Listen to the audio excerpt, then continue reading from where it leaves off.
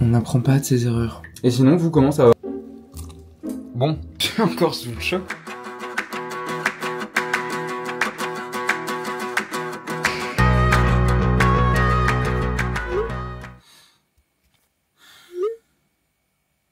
On n'apprend pas de ses erreurs. J'ai l'impression d'être encore en pleine nuit, tellement je n'ai pas dormi et tellement je suis épuisé. Il est 6h45, je pense que je suis rentré euh, tard, très tard. Et là, il fallait que je monte la vidéo. Parce que j'ai des rendez-vous toute la matinée. J'ai un rendez-vous à 10h, à midi. Oui, je sais, vous allez me dire, Théo, c'est ta faute. Effectivement. Et je ne sais pas doser. Désolé, je vous ai pas trop parlé ce matin, mais je commençais à ruminer, je commençais à ruminer là et tout, et je me suis dit non Théo. Donc là je suis sorti, je vais aller courir juste pour euh, il vient de se passer. Bon, il s'est pas passé grand chose, mais juste je vais aller me défouler un petit peu et après euh, faire mes rendez-vous pour commencer ma journée. Mais là j'ai vraiment besoin d'évacuer, euh, c'est tout. Au top la matinée, au top Théo.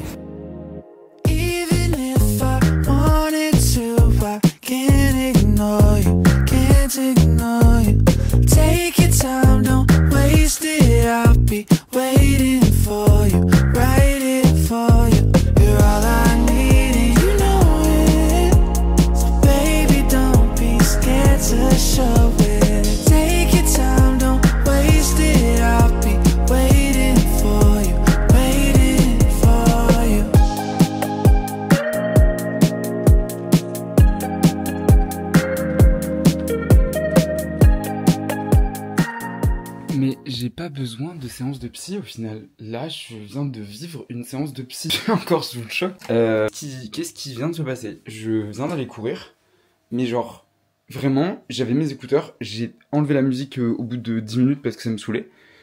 Et j'étais dans ma bulle. Mais quand je vous dis dans une bulle, j'arriverai même pas à l'expliquer. C'était... Attendez, il faut que je m'assoie là. J'étais dans une bulle, mais vraiment profonde, profonde.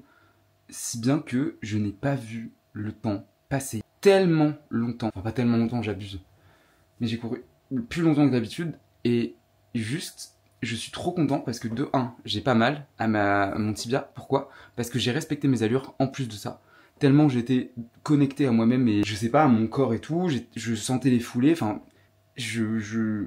Vraiment, je vous souhaite de vivre cette sensation-là d'être déconnecté à ce point-là, de trouver quelque chose qui vous déconnecte à ce point-là. Moi, je sais qu'il y a vraiment deux choses qui font ça. C'est le montage ou la création et le sport. Enfin, et la course. Je, je- je- suis choqué, genre vraiment, je suis choqué. Je, je suis trop content. Je vais couper parce que sinon, je vais, je vais pleurer encore. Donc, euh, non.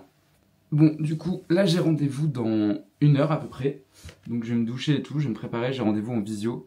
Et après, euh, je vais aller manger. Euh, normalement, je devais manger avec une pote, mais euh, je crois qu'elle peut plus. Donc, euh, tant pis.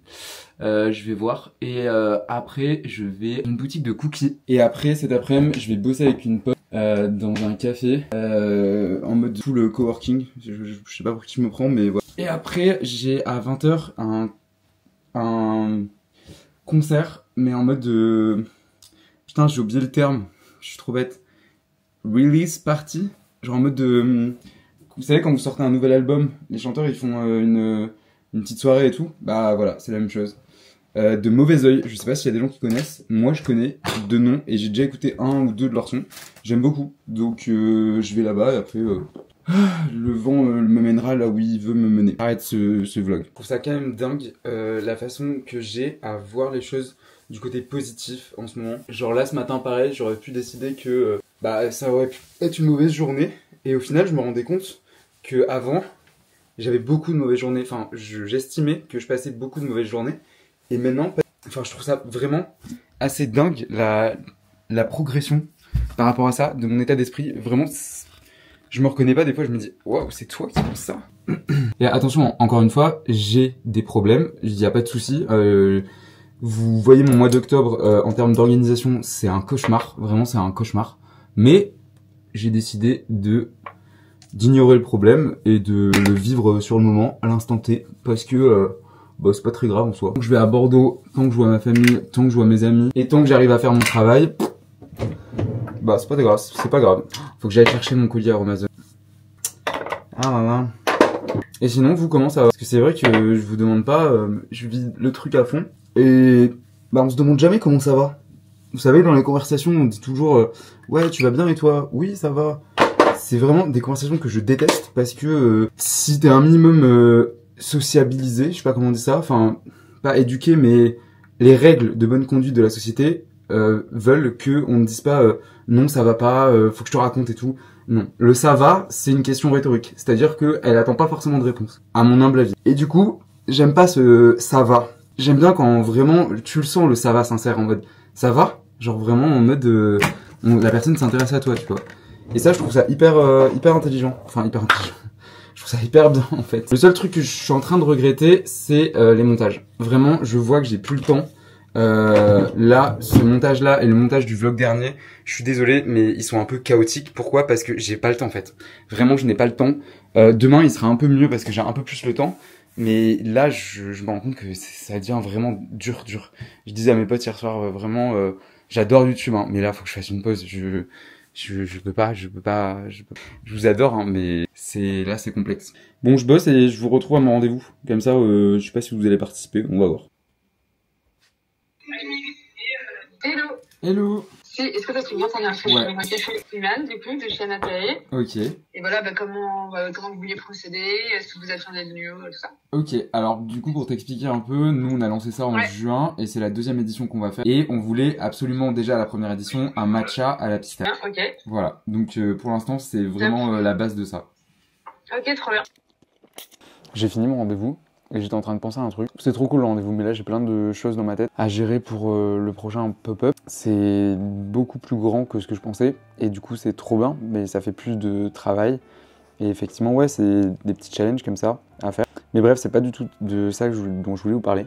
En gros, hier soir, j'ai parlé à une amie du- d'un projet que j'avais complètement oublié qui date d'il y a 4-5 ans. Et c'est la première fois que j'en reparlais à quelqu'un parce que ce projet n'a pas abouti alors qu'il était euh, en, po- en bonne position. Et ça m'a fait bizarre d'en reparler et ça m'a un peu euh, peiné parce que je voulais absolument le refaire. C'est quelque chose qui me tient à cœur et c'est toujours dans un coin de ma tête que peu importe le moment, peu importe euh, ma vie actuelle, j'y pense tout le temps. Et là, je l'ai récupéré sur mon disque dur et je l'ai remis sur mon ordinateur et je me suis dit, putain, incroyable, c'est vraiment trop trop bien. En gros, pour vous la faire courte, c'est une série mais pas une série euh, comme on l'entend. C'était vraiment euh, novateur. C'est ce que les gens euh, avec qui je travaillais et quand je passais devant des commissions pour aller récupérer de l'argent. Parce qu'avant j'étais dans le cinéma et dans l'audiovisuel, on va dire. Et cette série-là, en fait, elle montrait le point de vue de cinq personnages. Et c'était pour mettre en avant, je vous la fais en bref parce que c'est vraiment très très complexe à expliquer. On passait vraiment une heure et demie à expliquer le concept de la série parce que c'était tellement jamais vu que les gens aimaient ça en fait. Et ça s'est fait pour, ça s'est pas fait à cause notamment du Covid, voilà.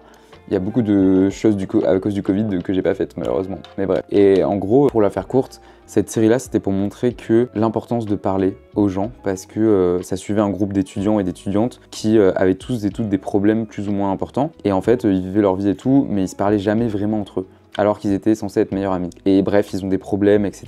Et en fait, à la fin, on se rend compte que, euh, enfin, je vais pas vous spoiler la série, mais en bref, que c'est hyper important de parler que si jamais ils avaient parlé ne serait-ce qu'un tant soit peu les uns aux autres, euh, il y aurait pas eu tous ces problèmes, pas eu tous ces quiproquos, pas eu tous ces, malentendus, etc.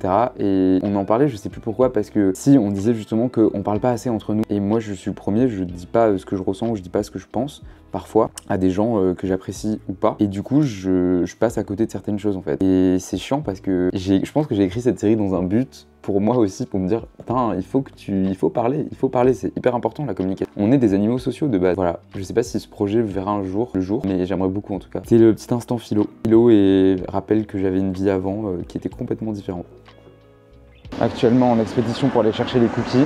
Il pleut, comme toujours. Bienvenue en septembre. En gros, là, je suis dans une boutique de cookies. Je dis potentiellement parce que je les ai jamais goûtés. Donc, euh, c'est une adresse que j'ai jamais encore faite. Donc, évidemment, si jamais c'est pas bon, bah, je vais pas partager. Donc, euh, évident. Je pense qu'après avoir, euh, après avoir pris la boîte, je suis certain qu'ils vont me donner une boîte. Je rentre chez moi, je pose la boîte et ensuite je vais au café travailler. J'ai tellement hâte de travailler, genre, j'ai tellement hâte d'être posé. Vous voyez, c'est vraiment de la passion. Genre là, je suis trop content. J'ai trop hâte de me poser réfléchir à des trucs, des contenus.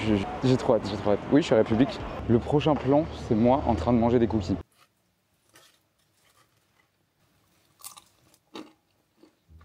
Bon, comme vous voyez, la boîte a pris un sacré coup. Il y en avait quatre de base. J'ai tourné une vidéo parce qu'en gros, j'ai goûté un cookie et je me suis dit, non, c'est incroyable. Honnêtement, euh, je vais pas vous mentir, ils sont dans mon top 3. Ouais, top 3. Bon, sur ce, La panse bien remplie, on va aller travailler. Pourquoi j'ai pris cet accent Je suis toujours à la recherche du meilleur cookie de Paris. Après trois mois d'enquête, bah, j'ai toujours pas trouvé. Alors peut-être bien que c'est aujourd'hui. On m'a dit va chez Benki's. Du coup, je suis allé chez Benki's. Des cookies, il y en avait. Est-ce qu'ils sont aussi beaux que bons? Là, vous avez les prix. Moi et ma boîte, on est rentré tranquillement chez moi pour ouvrir ces merveilles de la nature. Amandes chocolat, praliné pécan, pistache et encore pistache. Il faut pas déconner, j'en ai pris deux quand même. Je vais mettre un 12 sur 10 sur la texture parce que c'est moi qui mets les notes et je fais ce que je veux. Et c'était Waouh. tout à fait. Place à la pistache. La première au chocolat blanc était pas mal. Par contre, la deuxième très tchatcheuse. Là, ça me parle. Peut-être bien que ce sont les meilleurs cookies. C'est incroyable. Vous savez ce qui me rend triste C'est depuis prendre le Vélib parce qu'il pleut tout le temps là. Du coup bah je me tape le métro à chaque fois. Donc là bah je suis en direction du métro pour aller travailler au café. En plus je perds tellement de temps, genre trajet en métro là c'est genre 35 minutes alors que en vélo c'est genre 25 minutes. Oui bon ça va c'est 10 minutes. J'ai trop hâte d'être posé là avec mon petit café et de bosser. J'aime trop cette ambiance. Je vous promets j'ai un parapluie, je vous promets j'ai un parapluie mais là je l'ai pas sur moi. Euh...